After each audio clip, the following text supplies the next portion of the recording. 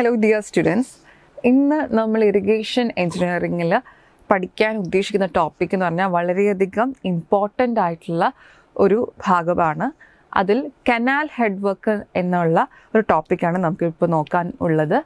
So canal head work എന്താണ് canal head work they are basically the structures which are build across a river to raise the water level at upstream അതായത് ഒരു സ്വാഭാവികമായിട്ട് ഒഴുകുന്ന ഒരു നദിയുടെ കുറുകെ ഒരു ഹൈഡ്രോളിക് സ്ട്രക്ചർ അല്ലെങ്കിൽ ഒരു തടസ്സം നമ്മൾ സൃഷ്ടിച്ചു കഴിഞ്ഞാൽ അതിന്റെ അപ്സ്ട്രീം ലെവലിൽ തീർച്ചയായും വെള്ളം പൊങ്ങുമല്ലോ. ആ അങ്ങനെ ആ ഒരു കണ്ടീഷനിലേക്ക് കൊണ്ടെത്തിക്കാൻ വേണ്ടി നമ്മൾ പണിയുന്ന സ്ട്രക്ചറിനെ വിളിക്കുന്ന പേരാണ് ഡൈവേർഷൻ അല്ലെങ്കിൽ ഹെഡ് വർക്ക്സ് എന്ന് പറയുന്നത്. ഒക്കെ നമുക്ക് രണ്ട് ടൈപ്സ് ഓഫ് ഹെഡ് വർക്ക്സ് ആണ് ഉള്ളത്. ഒന്ന് സ്റ്റോറേജ് ഹെഡ് വർക്ക്സും അല്ലെങ്കിൽ ഡൈവേർഷൻ ഹെഡ് വർക്ക്സും അപ്പോൾ സ്റ്റോറേജ് ഹെഡ് വർക്ക്സ് എന്ന് പറഞ്ഞാൽ നമുക്കെല്ലാം അറിയാം. നമ്മൾ ഈ നദിയിൽ ആണല്ലോ ഡാംസ് ഒക്കെ പണിയുന്നത്. അപ്പോൾ ഡാംസിൽ എന്താ ചെയ്യുക ഡാം പണിത് കഴിയുമ്പോഴത്തേക്കും അതിന്റെ അപ്സ്ട്രീം ലെവലിൽ നമ്മൾ വെള്ളം സ്റ്റോർ ചെയ്ത് വെക്കും അല്ലേ? അങ്ങനെ നമ്മൾ ഡാംസ് പണിയുന്നത് എപ്പോഴും നോൺ പെരന്യൽ ആയിട്ടുള്ള റിവേഴ്സിന്റെ കേസസിലായിരിക്കും അതായത് റിവേഴ്സ് എന്താണ് നമ്മൾ പഠിച്ചിട്ടുണ്ടായിരുന്നു പെരന്നിയലും നോൺ പെരന്നിയലും ഒക്കെ അല്ലേ? അപ്പം പെരന്നിയൽ റിവേഴ്സ് അല്ലാത്ത റിവേഴ്സ് അതായത് എപ്പോഴും അതിനകത്ത് വെള്ളമില്ല എന്നുണ്ടെങ്കിൽ നമ്മൾ എന്ത് ചെയ്യും? ഒരു ഡാം പണിത് അതിൽ വെള്ളം സ്റ്റോർ ചെയ്ത് വെക്കും. എന്നിട്ട് ആവശ്യമുള്ളപ്പോൾ അതിൽ നിന്ന് നമ്മൾ വെള്ളം എടുക്കുകയാണ് പതിവായിട്ട് ചെയ്യാറുള്ളത്. ഇനി ഡൈവേർഷൻ ഹെഡ് വർക്ക്സ് നമ്മൾ പണിയുന്നത് എപ്പോഴും നല്ലതായിട്ട് ഒഴുകിക്കൊണ്ടിരിക്കുന്ന ഫ്ലോ ഉള്ള ഒരു പെരന്നിയൽ റിവറിലാണ് നമ്മൾ കൺസ്ട്രക്റ്റ് ചെയ്യുന്നത്. അവിടെ നമ്മൾ യൂസ് ചെയ്യുന്നത് വിയർ അല്ലെങ്കിൽ ബരാഷ് പോലുള്ള കൺസ്ട്രക്ഷൻസ് ആണ് നമ്മൾ കൂടുതലായിട്ടും ഡൈവേർഷൻ ഹെഡ് വർക്ക്സിൽ പണിയുന്നത്. ഓക്കെ നമുക്ക് ഇന്ന് എന്തായാലും ഡൈവേർഷൻ ഹെഡ് വർക്ക്സ് എന്താണെന്ന് നോക്കാം.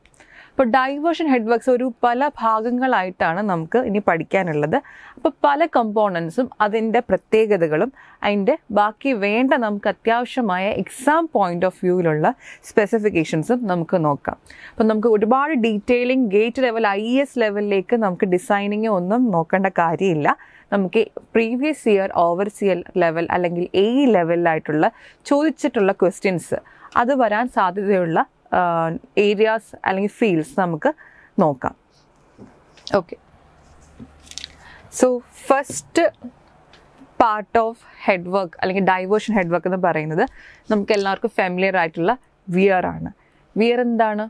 ഒരു സോളിഡ് ഒബ്സ്ട്രക്ഷൻ ആണ്. ഒന്നെങ്കിൽ അത് മേസൺറി സ്ട്രക്ചർ കൊണ്ടുണ്ടാവാം അല്ലെങ്കിൽ അതൊരു കോൺക്രീറ്റ് സ്ട്രക്ചർ കൊണ്ടാവാം ഉണ്ടാക്കിയിരിക്കുന്നത്. അപ്പം വിയർ ഉണ്ടാക്കിയിരിക്കുന്നതിന്റെ മെയിൻ ഉദ്ദേശം എന്താണ്? റിവേഴ്സിന്റെ ഫ്ലോയിനെ കൺസ്ട്രക്ഷൻ ആയിട്ട് ഒബ്സ്ട്രക്റ്റ് ചെയ്ത് അതിന്റെ അപ്സ്ട്രീം ലെവലിലുള്ള വാട്ടറിന്റെ റൈസ് ചെയ്ത് ആ വെള്ളം എന്തിനാണ് നമ്മൾ ഇത്രയും നമ്മൾ പറഞ്ഞു എന്തിനാണ് നമ്മളത് റൈസ് ചെയ്യുന്നത് അപ്സ്ട്രീം ലെവലിൽ അല്ലേ? കനാലിലേക്ക് പോകാനാണ്. അതെ കനാലിലേക്ക് വെള്ളം ഒഴുകാൻ വേണ്ടിയിട്ടാണ് നമ്മൾ ഒരു റിവറിന്റെ അപ്സ്ട്രീം സൈഡിൽ കൺസ്ട്രക്റ്റ് ചെയ്യുന്നത്. നമ്മൾ ഇങ്ങനെയാണ് റിവർ പോകുന്നതെന്നുണ്ടെങ്കിൽ ഇപ്പോൾ റിവറാണ്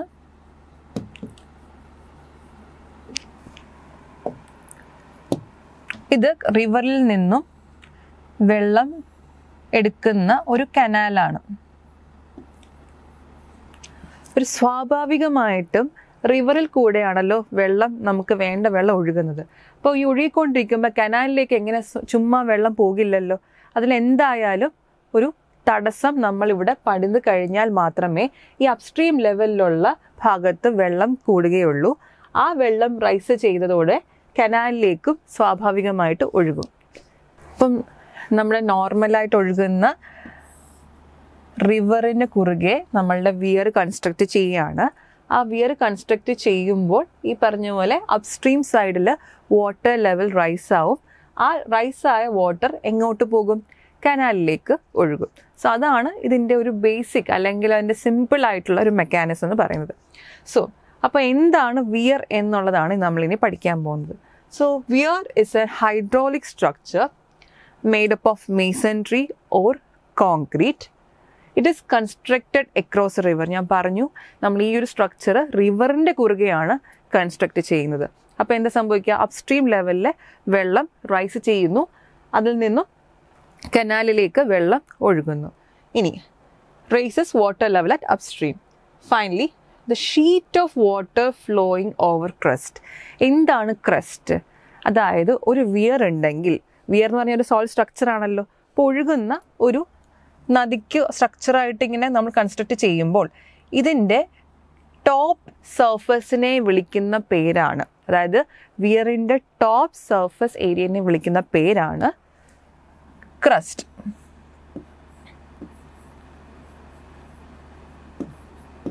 ഓക്കെ ഈ ക്രസ്റ്റ് കൂടെ ക്രിസ്റ്റിന്റെ മേളിൽ കൂടെയും ഈ വെള്ളം ഒഴുകും. അപ്പോൾ ആ ഒഴുകുന്നതെന്ന് പറഞ്ഞു കഴിഞ്ഞാൽ ഒരു നല്ലൊരു ഭംഗിയായിട്ട് ഒരു sheet of flow of water എന്നുള്ള രീതിയിലായിരിക്കും ഒഴുകുന്നത്. അപ്പോൾ ഈ ക്രസ്റ്റിന്റെ മേളിൽ കൂടെ the sheet of water flowing over the crest അതിനെയാണ് നാപ്പി അല്ലെങ്കിൽ വെയിൻ എന്ന് പറയുന്നത്. അപ്പോൾ ഇത് ക്വസ്റ്റ്യൻസിൽ ചോദിച്ചു കണ്ടിട്ടുണ്ട് what is the name called for the sheet of water flowing above അല്ലെങ്കിൽ ഫ്ലോയിങ് ഓവർ ദ ക്രസ്റ്റ് അതാണ് നാപ്പി ഓർ വെയിൻ ഇനി വിയർ അപ്പോൾ നമ്മൾ അതിന്റെ മെയിൻ ക്യാരക്ടറിസ്റ്റിക്സ് പഠിച്ചു. ഇനി ഇതിന്റെ ഡീമെറിറ്റ്സ് എന്താണ്? എന്തായാലും ഒരു സ്ട്രക്ചർ നമ്മൾ പണിയുമ്പോൾ നമ്മുടെ അഡ്വാന്റേജസ് അതിന്റെ ഡിസഡ്വാന്റേജസും എല്ലാം കൺസിഡർ ചെയ്യാറുണ്ട്. അപ്പോൾ ഇത്രയുമാണ് നമ്മുടെ അഡ്വാന്റേജസ് ഇനി ഡിസഡ്വാന്റേജസ് എന്താണ്? ഒന്നാമത്തെ ഡിസഡ്വാന്റേജ് എന്ന് പറയുന്നത് ഇതിന്റെ മേളിൽ കൂടെ നമുക്കൊരു ട്രാൻസ്പോർട്ടേഷൻ സർവീസ് അവൈലബിൾ അല്ല. ഓക്കെ നമുക്ക് ഈ ക്രസ്റ്റിന്റെ മുകളിൽ കൂടെ അതായത് ഈ ടോപ്പ് സർഫസിൽ കൂടെ നമുക്കൊരു റോഡോ അല്ലെങ്കിൽ എന്തെങ്കിലും ഒരു ഇൻസ്പെക്ഷന് വേണ്ടിയിട്ടാണെങ്കിൽ കൂടെയും നമുക്കൊരു ട്രാൻസ്പോർട്ടേഷൻ സർവീസ് കൊടുക്കുക എന്ന് പറഞ്ഞു കഴിഞ്ഞാൽ അവിടെ പോസിബിൾ അല്ല. അതുപോലെ തന്നെ ഇതൊരു കൺട്രോൾഡ് ആയിട്ടുള്ളൊരു ഹൈഡ്രോളിക് സ്ട്രക്ചർ അല്ല. അതായത് ചുമ്മാ ഒരു ഒബ്സ്ട്രക്ഷൻ വെക്കുന്നു അതിൽ കൂടെ അപ്സ്ട്രീമിൽ വെള്ളം പോകുന്നു കുറച്ച് വെള്ളം മേളിൽ കൂടെ sheet of flow of water ആയിട്ട് ഒഴുകുന്നു കുറച്ച് വെള്ളം കനാലിലേക്ക് ഒഴുകുന്നു. പക്ഷെ ഇതൊന്നും ഒരു കൺട്രോൾഡ് മാനറിലല്ല സംഭവിക്കുന്നത്. അപ്പോൾ അതെന്താ കാര്യം? അപ്പോൾ അതൊരു ഡിസഡ്വാന്റേജസ് ആയിട്ട് നമുക്ക് കൺസിഡർ ചെയ്യാവുന്നതാണല്ലോ. ഓക്കെ അപ്പോൾ ഒന്നാമത്തെ ഡിസഡ്വാന്റേജ് എന്ന് പറയുന്നത് നോ അലവൻസ് ഫോർ ട്രാൻസ്പോർട്ടേഷൻ അതുപോലെ രണ്ടാമത്തെ ഡിസഡ്വാന്റേജ് എന്ന് പറയുന്നത് ഒരു കൺട്രോൾഡ് മാനറിലല്ല ഈ ഹൈഡ്രോളിക് സ്ട്രക്ചർ വർക്ക് ചെയ്യുന്നത്. പിന്നെ മൂന്നാമത്തെ ഒരു ഡിമെറിറ്റ് എന്ന് പറഞ്ഞു കഴിഞ്ഞാൽ ഇതിന്റെ അപ്സ്ട്രീം സൈഡിന്റെ ബോട്ടമിൽ വന്ന് എന്തായാലും വെള്ളത്തിലൊരു സിൽറ്റ് കണ്ടന്റ് ഉണ്ടാവുമല്ലോ. ആ സിൽറ്റ് വന്ന് സിൽറ്റ് സെഡിമെന്റ്സ് വന്ന് അക്യുമുലേറ്റ് ചെയ്ത് അതിന്റെ ഫ്ലോ അല്ലെങ്കിൽ ഡിസ്ചാർജ് ഓഫ് ദ റിവർ കുറയ്ക്കും.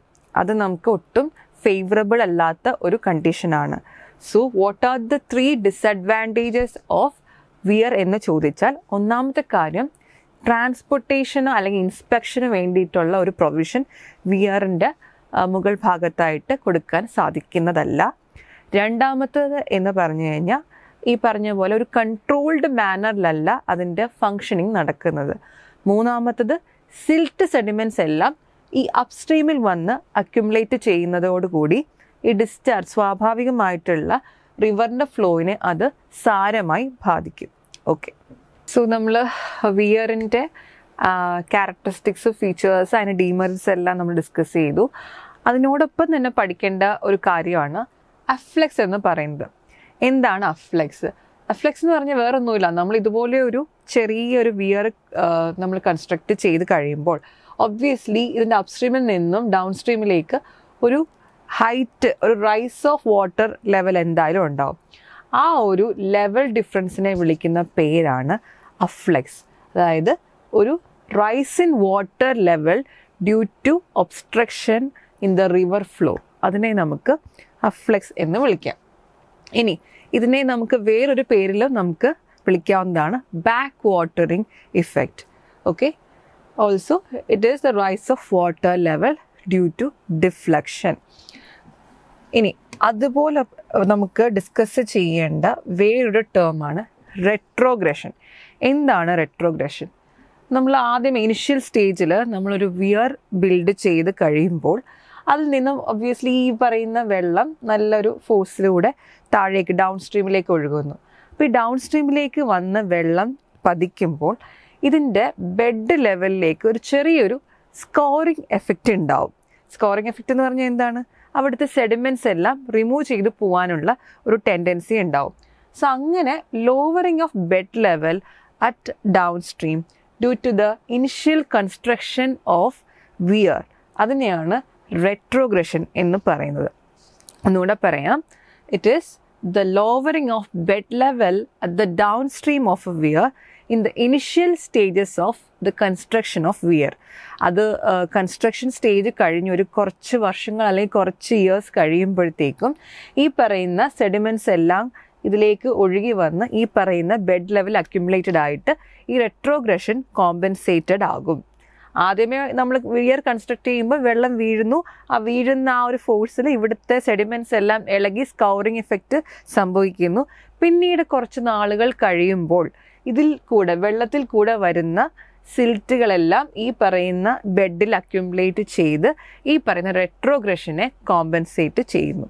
സോ നമുക്ക് മനസ്സിലായല്ലോ ഈ പറഞ്ഞ അഫ്ലെക്സും റെട്രോഗ്രഷനും രണ്ടും വിയറുമായിട്ട് നമുക്ക് കമ്പയർ ചെയ്യാൻ പറ്റുന്ന ടേംസ് ആണ്. ഓക്കെ ഓക്കെ നമ്മൾ വിയറിന്റെ പല ഫീച്ചേഴ്സും ഡിസ് ഡീമെറിറ്റ്സും എല്ലാം നമ്മൾ ഡിസ്കസ് ചെയ്തിട്ടുണ്ട്.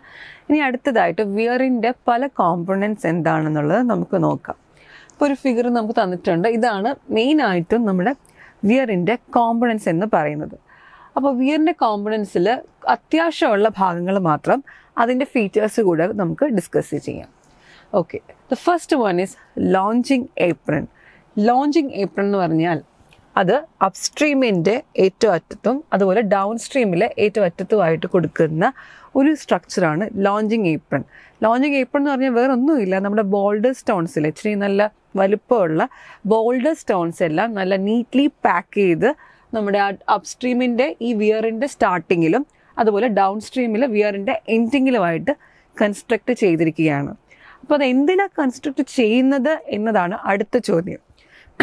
സോറി അത് സ്കൗറിങ് എഫക്റ്റ് അതായത് ഈ വെള്ളം നമ്മൾ ഈ അപ്സ്ട്രീമിൽ നിന്ന് ഡൗൺ സ്ട്രീമിലേക്ക് പോകുമ്പോൾ ഉണ്ടാകുന്ന സ്കൗറിങ് എഫക്റ്റ് തടയാനായിട്ട് ഈ പറയുന്ന ലോഞ്ചിങ് ഏപ്രൻസ് ഹെൽപ്പ് ചെയ്യും. അപ്പോൾ ഇത് എന്ത് എന്ത് വെച്ചാണത് ഉണ്ടാക്കിയിരിക്കുന്നതെന്ന് ചോദിച്ചാൽ it is composed of neatly packed boulder stones ഇനി അടുത്തത് ഇതിൽ പറ്റി അറിയേണ്ട വേറൊരു കാര്യം. ഇതിന്റെ length length of launching apron at the upstream side and down stream side എന്ന് പറയുന്നത് two point five into D two ഇനി ഡി ടു എന്താണെന്ന് നമുക്കറിയണം? ഡി ടു എന്ന് പറഞ്ഞാൽ ഇവിടെ ഒരു ഷീറ്റ് പൈൽ കണ്ടോ? നമ്മുടെ അപ്സ്ട്രീം ഷീറ്റ് പൈലും ഉണ്ട് ഡൗൺ സ്ട്രീം ഷീറ്റ് പൈലും ഉണ്ട്. ഇതിലെ ഡൗൺ സ്ട്രീം ഷീറ്റ് പൈലിന്റെ ഡെപ്താണ് ഡി ടു എന്ന് പറയുന്നത്. ക്ലിയർ ആയോ? അപ്പം ലെങ്ത് ഓഫ് ലോഞ്ചിങ് ഏപ്രൺ എന്താണെന്ന് നിങ്ങൾക്കൊരു ക്വസ്റ്റ്യൻ വന്നാൽ നിങ്ങൾക്ക് എഴുതണം. Two point five times the depth of down stream pile അപ്പോൾ ഇത് ഡി വൺ ആണെങ്കിൽ അപ് സ്ട്രീം പൈലിന്റെ ഡെപ്ത് എന്ന് ഡി വൺ ആണെങ്കിൽ ഡൗൺ സ്ട്രീം പൈലിന്റെ ഡെപ്ത് ഡി ടു ആണ്. അപ്പോൾ length of launching apron is two point five times D two ഇപ്പോൾ ക്ലിയർ ആയെന്ന് കരുതുന്നു. അപ്പം നെക്സ്റ്റ് കോമ്പണന്റ് ഏതാണെന്ന് നോക്കുക ഇൻവേർട്ടഡ് ഫിൽറ്റർ ഇൻവേർട്ടഡ് ഫിൽറ്റർ നമ്മൾ എപ്പോഴും കൊടുക്കുന്നത് ഡൗൺ സ്ട്രീം സൈഡിലായിരിക്കും ഓക്കെ ഇൻവേർട്ടഡ് ഫിൽറ്റർ കാണാമെന്ന് തോന്നുന്നു. ഇൻവേർട്ടഡ് ഫിൽറ്റർ ഡൗൺ സ്ട്രീം സൈഡിലായിരിക്കും നമ്മൾ പ്രൊവൈഡ് ചെയ്യുന്നത്. അതെന്തിനാണെന്ന് വെച്ചാൽ നമ്മൾ വിയർ കൺസ്ട്രക്ട് ചെയ്യുന്നത് എന്തായാലും ഒരു സീ ബെഡ് അല്ലെങ്കിൽ സോറി റിവർ ബെഡിന്റെ മേളിലായിട്ടായിരിക്കുമല്ലോ അപ്പോൾ ഇതിൽ നിന്നും ഈ ഡൗൺ സ്ട്രീമും അപ്സ്ട്രീമിലും ഇടയ്ക്കായിട്ട് ഈ പറയുന്ന ബെഡിലൂടെ നമുക്ക് ഈ വാട്ടർ സീപ്പേജ് നടക്കാൻ ചാൻസ് ഉണ്ട്. അപ്പോൾ സീപ്പേജ് നടക്കുക എന്ന് പറഞ്ഞു കഴിഞ്ഞാൽ അവിടെ എന്ത് സംഭവിക്കും? വെള്ളം ഇതിന്റെ ബെഡിലൂടെ ഊർന്നിറങ്ങി ഒരു അപ്വേർഡ് പ്രഷർ ഒരു അപ്ലിഫ്റ്റ് ഫോഴ്സ് ഈ ഒരു വിയറിന് കൊടുക്കാനുള്ള ചാൻസ് ഉള്ളത് കൊണ്ട് അങ്ങനെ സംഭവിച്ചാൽ നമ്മുടെ വിയറിന്റെ ഫെയിലിയറിലേക്ക് ഒരു കാരണമാകാം. ഒരു പരിധി കഴിയുമ്പോൾ ഈ അപ്ലിഫ്റ്റ് പ്രഷർ കൂടുകയാണെങ്കിൽ ഈ പറയുന്ന വിയർ ഡാമേജ്ഡ് ആവാനും അപ്ലിഫ്റ്റ് ഫോഴ്സ് വഴി ഓവർടേൺ ചെയ്യാനുള്ള സാധ്യതയുണ്ട്. അപ്പോൾ നമ്മുടെ അടുത്ത ഉദ്ദേശം എന്താണ്? ഈ അപ്ലിഫ്റ്റ് ഫോഴ്സ് മിനിമൈസ് ചെയ്യണം. നമ്മുടെ വിയറിന്റെ സ്റ്റെബിലിറ്റി അല്ലെങ്കിൽ ഫെയിലിയർ ഉണ്ടാവാൻ പാടില്ല. സോ അങ്ങനെയുള്ള ഒരു സ്ട്രക്ചറിന് വേണ്ടിയിട്ടാണ് നമ്മൾ ഇൻവേർട്ടഡ് ഫിൽറ്റർ കൊടുക്കുന്നത്. ഇൻവേർട്ടർ ഫിൽറ്റർ എന്ന് പറഞ്ഞു കഴിഞ്ഞാൽ അത് ശരിക്കും ഒരു ഗ്രാവൽ അല്ലെങ്കിൽ ബ്രോക്കൺ സ്റ്റോൺസിന്റെ ഒക്കെ ഒരു നീറ്റ്ലി പാക്ഡ് ആയിട്ടുള്ള ഒരു കോമ്പിനേഷൻ ആണ്. അതിന് താഴെ വെച്ച് അതിന്റെ മുകളിലായിട്ട് കോൺക്രീറ്റ് കട്ടുകൾ ഒരു ചെറിയ ചെറിയ ബ്ലോക്സ് കോൺക്രീറ്റ് വെച്ച് അതിന്റെ ഇടയ്ക്ക് നമുക്ക് ഗ്യാപ്സ് ഒക്കെ ഉണ്ട്. അപ്പം ആ ഒരു സംഭവം ഇൻവേർട്ടഡ് ഫിൽറ്റർ എന്ന് പറഞ്ഞ സംഭവം വെച്ചിരിക്കുന്നത് തന്നെ ഇവിടെയുള്ള അപ്ലിഫ്റ്റ് അപ്ലിഫ്റ്റ് ആയിട്ടുള്ള പ്രഷർ റിലീഫ് ഉണ്ടാവാനായിട്ടാണ് റിലീവ് ചെയ്ത് പോകാനായിട്ടാണ്. സോ അങ്ങനെ വരുമ്പോൾ എന്താ? ഈ ഡൗൺ സ്ട്രീമിലേക്ക് പോകുന്ന സീപ്പേജ് വാട്ടർ ഈ പറയുന്ന ഇൻവേർട്ടഡ് ഫിൽറ്ററിലൂടെ താഴേക്ക് പോയി പിന്നെ ഡൗൺ സ്ട്രീമിലേക്ക് ഒഴുകി മേളിലേക്ക് ചെല്ലുന്നു. ഓക്കെ അപ്പോൾ എന്താ സംഭവിക്കുക? ഇതെല്ലാം പാക്ക് ചെയ്ത് അടച്ച് കൂട്ടി വെച്ച് കഴിഞ്ഞാൽ എന്ത് സംഭവിക്കും? അപ്ലിഫ്റ്റ് പ്രഷർ കൂടും. അപ്പോൾ അപ്ലിഫ്റ്റ് പ്രഷർ കുറയ്ക്കാൻ വേണ്ടിയിട്ടുള്ള ഒരു ചെറിയൊരു സേഫ്റ്റി സിസ്റ്റമാണ് നമ്മുടെ ഇൻവേർട്ടഡ് ഫിൽറ്റർ ഓക്കെ അപ്പം നമുക്ക് ക്വസ്റ്റ്യൻ ഇങ്ങനെ വരാം. Which among the weir components is used for relieving the uplift pressure of water എന്ന് ചോദിച്ചാൽ നിങ്ങൾക്ക് ധൈര്യമായിട്ട് എഴുതാം. ഇറ്റ് ഈസ് ഇൻവേർട്ടഡ് ഫിൽറ്റർ ഇനി അതിൽ നിന്ന് അടുത്ത ചോദ്യം എന്തായിരിക്കും? The length of inverted filter ആയിരിക്കും നിങ്ങൾക്ക് അടുത്ത് എക്സ്പെക്റ്റ് ചെയ്യാനായിട്ടുള്ള ചോദ്യം. അപ്പോൾ അതിന്റെ ലെങ്ത് എന്ന് പറയുന്നത് one point five times D two അതായത് one point five times D two ഞാൻ നേരത്തെ പറഞ്ഞു. D two is the depth of down stream pile so ഇപ്പോൾ ലോഞ്ചിങ് ഏപ്രിൽ കഴിഞ്ഞു. ലോഞ്ചിങ് ഏപ്രിൽ നമ്മൾ അപ് സ്ട്രീമിലും ഡൗൺ സ്ട്രീമിലും കൊടുക്കുന്നതാണ്. ഇൻവേർട്ടഡ് ഫിൽറ്റർ എപ്പോഴും നമ്മൾ ഡൗൺ സ്ട്രീമിലാണ് കൊടുക്കുന്നത്. കാരണം അവിടെയാണ് കൂടുതൽ സീപ്പേജും അതുപോലെ അപ്ലിഫ്റ്റ് പ്രഷർ ഉണ്ടാവാനായിട്ടുള്ള സാധ്യതയുള്ളത് കൊണ്ട് നമ്മൾ ഇൻവേർട്ടഡ് ഫിൽറ്റർ ഡൗൺ സ്ട്രീമിൽ കൊടുക്കുന്നു. പിന്നെ അടുത്തത് ഇമ്പേർവിയസ് ഫ്ലോർ എന്തായാലും ഒരു ഫ്ലോർ ഉണ്ട്. ആ ഫ്ലോറിന്റെ മുകളിലാണ് നമ്മൾ വിയർ കൺസ്ട്രക്ട് ചെയ്തിരിക്കുന്നത്. അപ്പം നമ്മുടെ ഈ ഒരു ഫ്ലോർ നമുക്ക് കാണാമല്ലോ ഇത് കണ്ടാലേ നമുക്ക് മനസ്സിലാവും. It is an R C C floor അപ്പോൾ ആർ സി സി ഫ്ലോറിന്റെ മുകളിലാണ് നമ്മൾ ഈ വിയർ മൊത്തം കൺസ്ട്രക്ട് ചെയ്ത് വെച്ചിരിക്കുന്നത്. അപ്പോൾ എന്താണ്? ഈ ഫ്ലോറിന് ഈ പറയുന്ന അപ്ലിഫ്റ്റ് പ്രഷർ താങ്ങാനായിട്ടുള്ള ഒരു കപ്പാസിറ്റി വേണം. സോ അങ്ങനെ വേണം എന്നുണ്ടെങ്കിൽ അതിന്റെ വെയിറ്റ് എന്ന് പറയുന്നത്. വെയിറ്റ് എന്നാൽ താഴേക്കായിരിക്കുമല്ലോ ആക്ട് ചെയ്യുന്നത്. അപ്ലിഫ്റ്റ് പ്രഷർ ഫോഴ്സിനെ കൗണ്ടർ ആക്ട് ചെയ്യാൻ പറ്റുന്ന രീതിയിലുള്ള വെയിറ്റ് വേണം നമ്മൾ ആർ സി സി ഇംപെർവിയസ് ഫ്ലോറിന് ഡിസൈൻ ചെയ്യാനായിട്ട്. അപ്പം മെയിൻലി ഇത് constructed of R C C ആണ്. അത് ഇംപെർവിയസ് ആയിരിക്കണം. വെള്ളം അകത്തേക്ക് കയറാൻ സാധ്യത ഉണ്ടാവരുത് അതുപോലെ തന്നെ this floor must be able to counteract with the uplift force that can occur okay അപ്പോൾ അതിന് വേണ്ടിയിട്ട് നമ്മൾ ആർ സി സി ഫ്ലോറൊക്കെ സെപ്പറേറ്റ് ആയിട്ട് നമ്മൾ ഡിസൈൻ ചെയ്യാറുണ്ട്. അപ്പോൾ ആ ഡിസൈനിങ് ഒന്നും നമുക്ക് എക്സാം പോയിന്റ് ഓഫ് വ്യൂവിൽ വേണ്ട. അപ്പോൾ അതിനനുസരിച്ചാണ് നമ്മൾ ഇതിന്റെ തിക്നെസ്സും ഒക്കെ ഡിറ്റർമൈൻ ചെയ്യുന്നത്. സോ ഇനി അടുത്ത കമ്പോണന്റ് എന്ന് പറയുന്നത് ഷീറ്റ് പൈൽസ് ആണ്. ഷീറ്റ് പൈൽസ് നിങ്ങൾക്ക് ഇപ്പോൾ ഈ ഒരു ഫിഗറിൽ കാണാമെന്ന് വിചാരിക്കുന്നു. ഷീറ്റ് പൈൽസ് എന്ന് പറയുന്നത്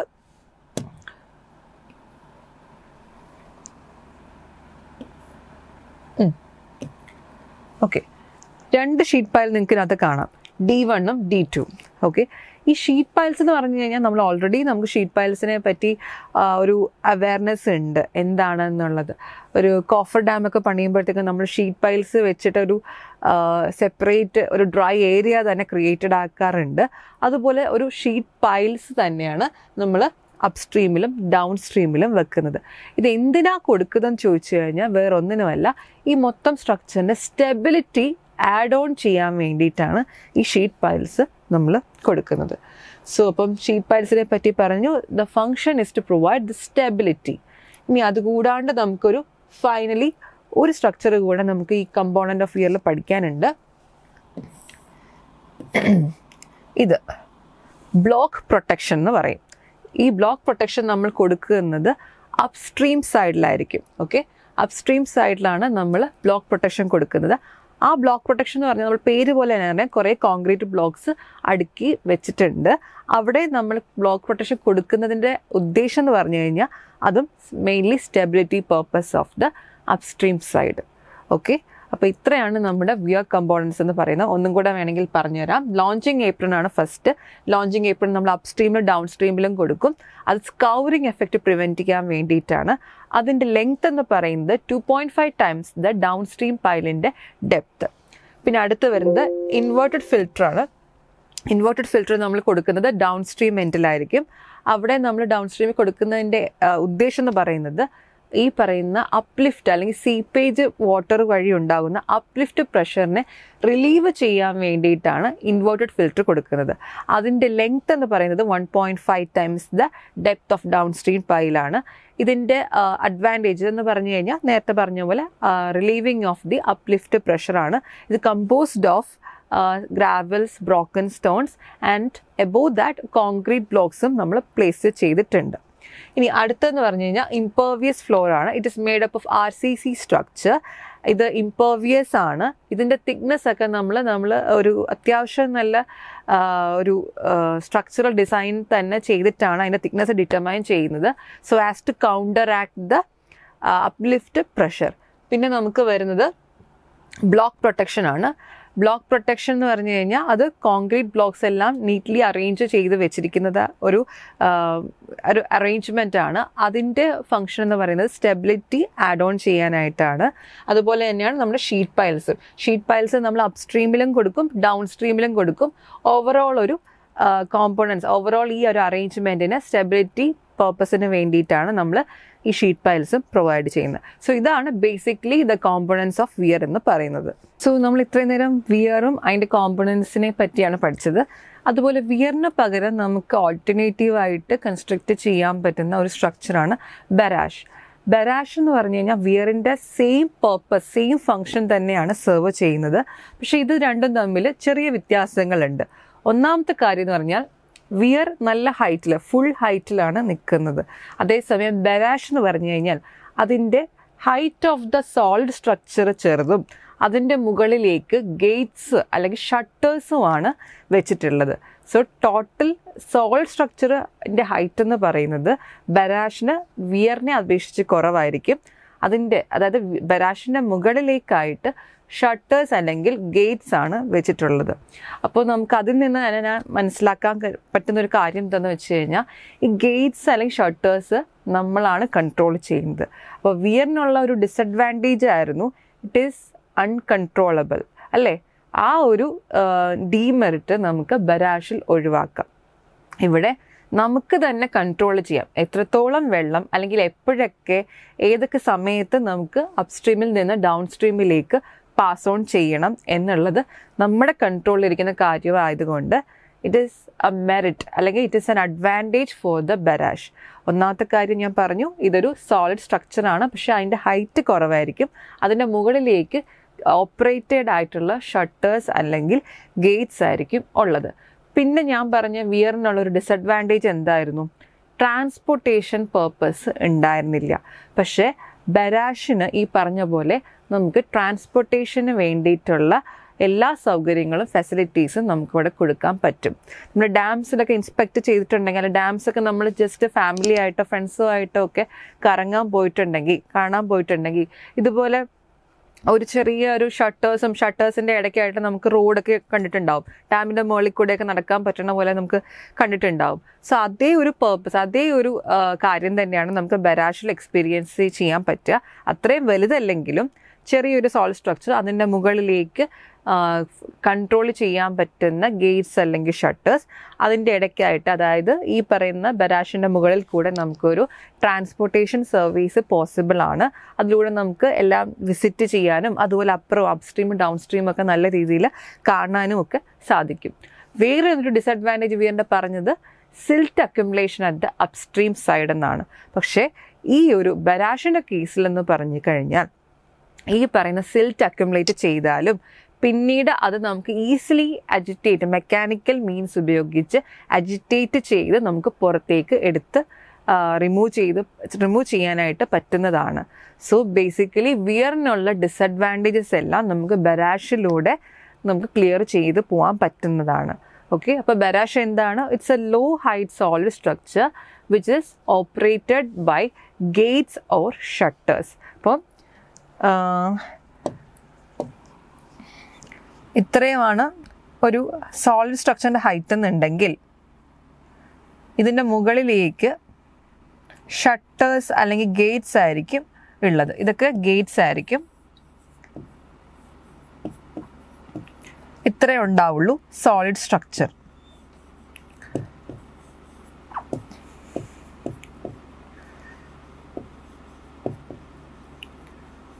ഓക്കെ അപ്പോൾ എന്തായാലും നമുക്ക് ഈ ഗേറ്റ്സ് തുറക്കുന്നത് എത്രത്തോളം തുറക്കണം? അല്ലെങ്കിൽ എപ്പോൾ തുറക്കണം? അല്ലെങ്കിൽ എത്രത്തോളം വെള്ളം നമുക്ക് അപ്സ്ട്രീമിൽ നിന്ന് ഡൗൺ സ്ട്രീമിലേക്ക് പാസ് ഓൺ ചെയ്യണം? എന്നുള്ളതൊക്കെ നമുക്ക് ഈ പറഞ്ഞ പോലെ ഗേറ്റ്സ് കൺട്രോൾ ചെയ്യുന്നത് വഴി സാധിക്കുന്നതാണ്. അതുപോലെ തന്നെ ട്രാൻസ്പോർട്ടേഷൻ പോസിബിൾ ആണ്. Above garage sorry above barrage and finally silt കൺട്രോളിങ്ങും നമുക്കിവിടെ പോസിബിൾ ആണ്. സോ ഇങ്ങനെയാണെന്നുണ്ടെങ്കിൽ ഇതിന്റെ ഡീമെറിറ്റ് എന്ന് പറയുന്നത് ബരാഷിന്റെ ഡീമെറിറ്റ് എന്ന് പറയുന്നത് it is costlier than the construction of weir ഇപ്പോൾ ക്ലിയർ ആയെന്ന് കരുതുന്നു.